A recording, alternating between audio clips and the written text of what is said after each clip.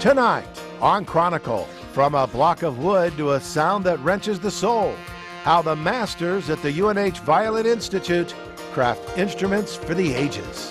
What brings people to New Hampshire is the staff have the finest training there is. They come for that standard. And when you hear the name of one of the finest violin makers in the world, you probably think of Europe. Well, tonight we travel to one of the world's most revered violin institutes, a place where people from around the globe gather to learn about the craft from the masters. And wouldn't you know it?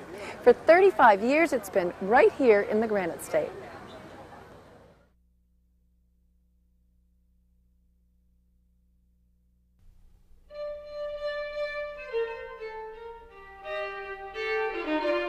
What makes a person say, I want to play the violin?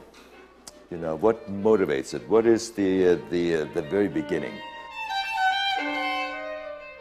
It's starting to become flexible, therefore we have to be very careful. Karl Roy helps people learn to craft string instruments.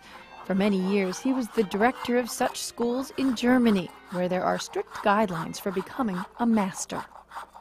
In my hometown in Mittenwald, Bavaria, Germany, there uh, are instruments built since around 1680. And uh, of course, you must be a good craftsman, but also you must uh, uh be able to recognize beauty. Years ago, someone from UNH traveled to his school in Germany to see if one of his apprentices might come to Durham to share their knowledge. Since Karl spoke English and thought it might make for a nice summer vacation, he made the trip and has for the last 35 years. I found that uh, the American violin makers have really quite a bit improved within the last 20 years.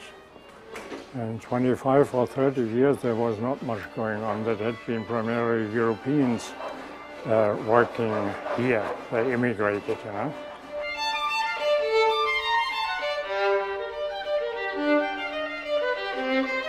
Roy has written a highly respected text on becoming a master. He says there are really no training options in the United States, and that has made the Violin Craftsmanship Institute at UNH very popular. This is my third year, and um, this is absolutely uh, a wonderful course. Actually, we have been um, looking for all these throughout uh, the whole of the United States or anywhere, anywhere parts of the world. But I would say that um, my partner, my business partner in uh, Singapore, he said that try to try UNH and then um, have the lessons with uh, the masters here, then uh, you will find it fantastic, well trained, and then you have all the skills that uh, you needed to um, operate your sort of a business and setup. That's what I'm here.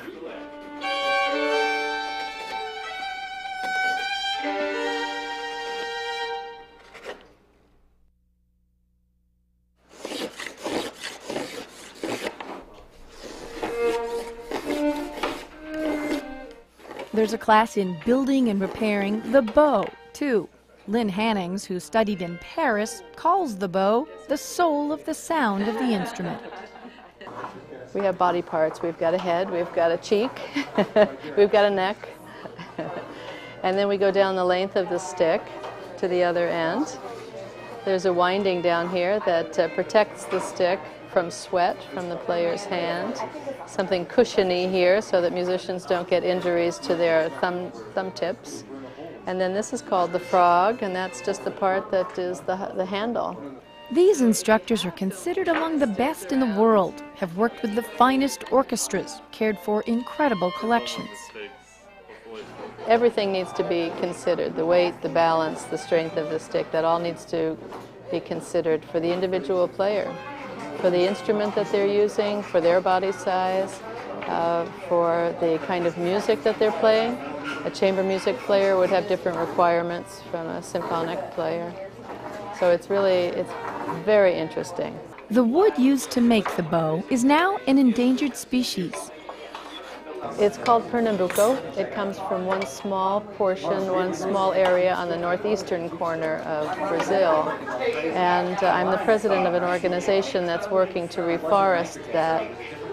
But we also have educational work that needs to be done around the world. And one of those jobs is what these students are doing to try to preserve those old bows.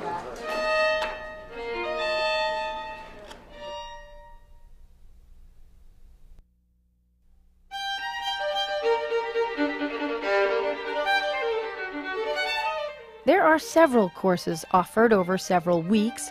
Horst Kloss holds a workshop on learning how to repair the violin. Students from all over bring along instruments that need help. And this touch up is like, uh, in a way, you doing pixels, you're doing dots uh, many times. Some students are teachers, some have workshops, but all are welcome to learn from master craftsmen with European apprenticeships and training who have worked for the world's finest shops. During my time, I've been doing this since 14 years old, and, uh, and there's a progression. The violin makers, uh, as I knew them, had a tremendous talent and could make a really good instrument. And then the next generation, they had an education. So they had some knowledge about chemistry, uh, something about physics.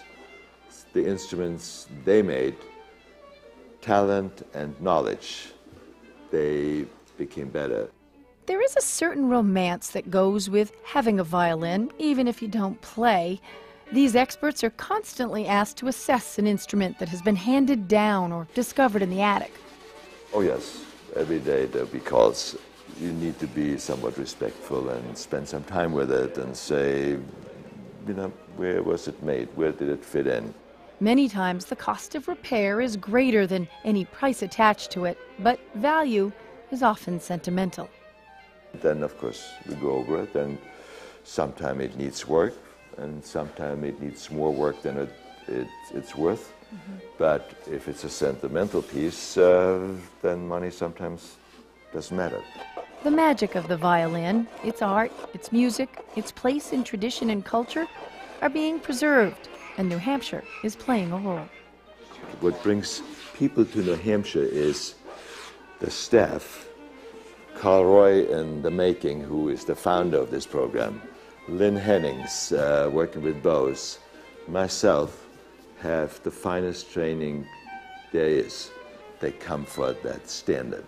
And so that's what's important.